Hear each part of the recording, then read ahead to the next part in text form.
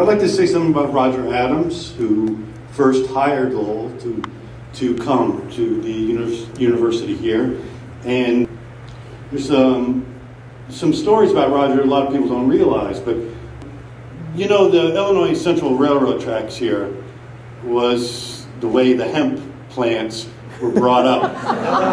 and the reason there's wild marijuana in this county is because the major hemp processing plant of America was right here. And it later became a cap and gown factory. I don't know what's going on there now. but the reason black people were brought into this town was because breaking hemp before the decorticator machine was invented was intensely physical labor, and they had to import blacks from the South, from Kentucky and so on, to, to break the hemp. And Roger did a secret. Uh, Roger, by the way, is one of the most powerful people in the world. I don't, you don't realize he's a descendant of John Adams. He's a Boston Brahmin. His family is the oligarchy. He was offered to run Harvard chemical department and said no because of the politics at Harvard. He said, I'm going to go to this podunk town and I'm going to build a better chemistry department than you got at Harvard.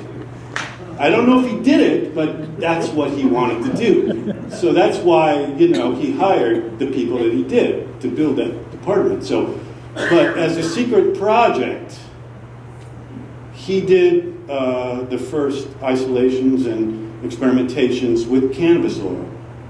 And because this university is so conservative and so uptight,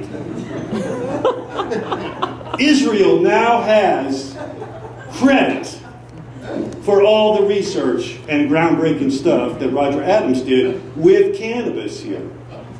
And I, I you know, I just think that uh, at some point it's going to be legal in the next five years.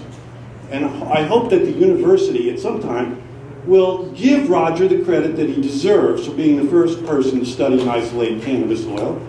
And um, now, in the 1960s, I had some problems with my dad because he didn't like Timothy Leary, and I didn't either, actually. And uh, he thought that uh, I was on the wrong path and so on. So, but anyway, um, uh, a, a, graduate student got in trouble with some marijuana here on the campus. And he came to Lowell and he said, um, listen, I'd like you to come testify at the trial that it's misclassified as a narcotic. And uh, Lowell said, um, oh, you got the wrong guy. Roger Adams did all the research. So Roger Adams lives three doors down from us, and, and Lowell helped get this student go over, over his house, and, and um, he came to the trial, and testified, it's not a narcotic, it's misclassified. He got off.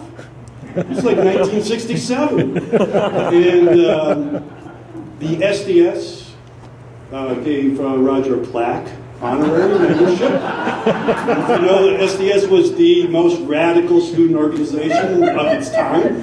Roger had the plaque framed and put on his mantelpiece next to all his awards. you know, they sent him to Tokyo, they sent him to Germany after the war. He was a major player all over. But I, I do know that when he did isolate and did all his research on cannabis oil, they were on their way to Washington. With, he was with two grad students, and they realized they were supposed to bring this oil so that this, the government could use it for a uh, truth serum. And they realized they'd done all this work, but nobody had actually tested the oil. so the three of them decided, well, we better try it. And you got to read his autobiography. They got way high on the train ride. they cut, they, they, they blazed the trail. Okay, they, they stepped in territory, and much later in life, it's so strange because. Um, you know, my dad got dementia later in life, and I, I told him you should eat some cannabis oil. I think it might help. And I finally, because uh, my sister could get it in Colorado, I said, get him some oil. And I said, I said, be careful though, don't overdose him, then he'll, he'll get scared. And, um, and she said, well, what, how much should I give him? I said, well, I don't know, like a grain of rice or something, I don't know. Well, it turned out my sister got the most powerful honey oil in existence.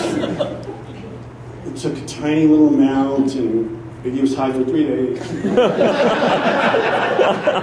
he wouldn't do the oil anymore. But, you know. Uh, but he tried it. He, he, did, he did try it. He was kind of very, very uncomfortable. But here's, here's what I truly believe is that, um, you know, I went to High Times for 20 years and I helped make marijuana legal. And uh, Roger Adams was the first guy to isolate it and never got the credit. And um, I just think that this university, now that it's going to be legal, should take the forefront. Take it back. You know, listen, we've got some of the greatest spotlight minds in the world in this room. I've been around you for 60 years. I still can't understand half of what you're saying. but I do know if you'll just take that oil and study its anti-cancer effects, somebody's going to get a Nobel Prize.